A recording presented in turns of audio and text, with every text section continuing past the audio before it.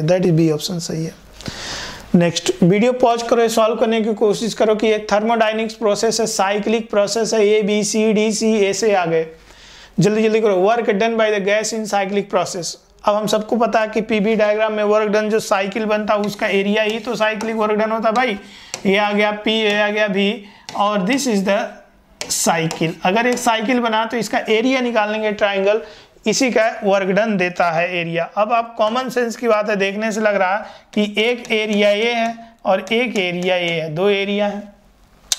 ये जो एरिया है, समझना, पहला वाला जो एरिया है, ये लोअर एरिया वो क्या है? क्लॉक वाइज है। देख रहे हो? क्लॉक वाइज तो इसका वर्क डन आ जाएगा पॉजिटिव और अगर वर्क डन है तो इसका ट्राइंगल का one by two base multiplied by height इसका बेस ये हो जाएगा।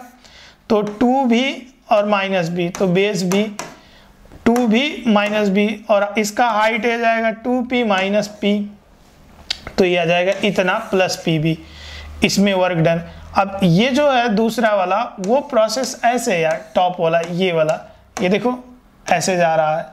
तो ये एंटी क्लॉक वाइज है। तो इसमें वर्क डन निगेटिव आएगा। तो मान लो वर्क डन इसमें W1 हुआ, इसमें W2 हुआ। तो वर्क डन इस वाले प्रोसेस में base of the triangle base of triangle वही है one by two V two V minus B B height of the triangle ये वाली जो हाइट है तो थ्री पी और minus two P that is P तो ये इतना निगेटिव आएगा। हम सबको पता तो दोनों को जोड़ दोगे तो वर्क डन ज़ीरो आ जाएगा।